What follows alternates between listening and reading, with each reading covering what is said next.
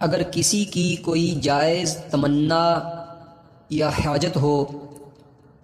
जो कि पूरी ना हो रही हो तो ऐसा शख्स पूरी तवज्जो के साथ रोज़ाना सुबह शाम उठते, बैठते, चलते फिरते अल्लाह पाक के इसम या मुगनी को पढ़ने का मामूल बना ले तो उसकी बड़ी से बड़ी तमन्ना और हाजत पूरी हो जाएगी।